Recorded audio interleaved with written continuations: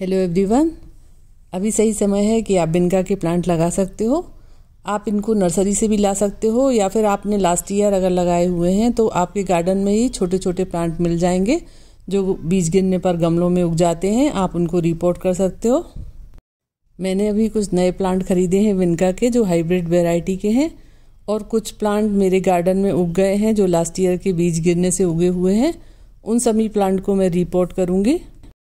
उनकी मैं क्या केयर करती हूँ कि मेरे प्लांट अभी से लेकर पूरी बारिश तक अच्छे फूल देते हैं, पर सर्दियों में इनकी कुछ स्पेशल केयर होती है। क्योंकि ये फूल वाला पौधा है, इसलिए उसकी मिट्टी में पर्याप्त मात्रा में खाद होनी चाहिए मतलब रिच सॉइल होनी चाहिए और बेल ड्रेन होनी चाहिए, जिससे उसमें पानी रुके नहीं। इसलिए गमले के जो पानी निकलने की व्यवस्था है, उसको अच्छी तरह से बनाना चाहिए। क्योंकि अगर पानी रुकता है तो इसकी रूट खराब हो जाती है, खासकर जो हाइब्रिड विनका होता है उसकी।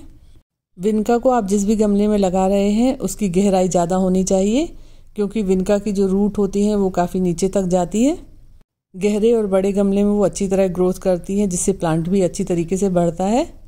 इसको आसानी से लगाने के लिए आप पहले गमले में आधी मिट्टी भरें, फिर प्लांट को लगा दें और उसके बाद उसमें पूरी मिट्टी भर दें अच्छी तरीके से और पानी दे दें।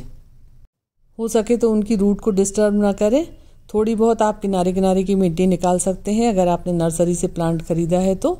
बाकी आपके गार्डन में जो उगा है, उनको तो आप डायरेक्ट निकाल कर लगा सकते हैं गमलों में। सभी प्लांट को रिपोर्ट करने के बाद गमलों को एक दो दिन के लिए छाया में रख दें। इसके बाद हम उनको धूप में शिफ्ट करेंगे। जब प्लांट थोड़ा बड़ा हो जाएगा, तब हम इसकी पिंचिंग करेंगे। मतलब इसको ऊपर से थोड़ा सा कट करेंगे, जिससे नीचे से ज़्यादा ब्रांच निकलेंगी और प्लांट घना होकर ज़्यादा फूल देगा। अभी मैंने सभी प्लांट को ऐसी जगह पर रखा है जहाँ सुबह की तीन चार घंटे की धूप आती है।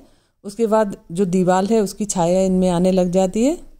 इस तरीके से आप भी आसानी से अपने गार्डन में विनका को लगा सकते हो। आशा है आपको वीडियो पसंद आया होगा। Thanks for watching thank you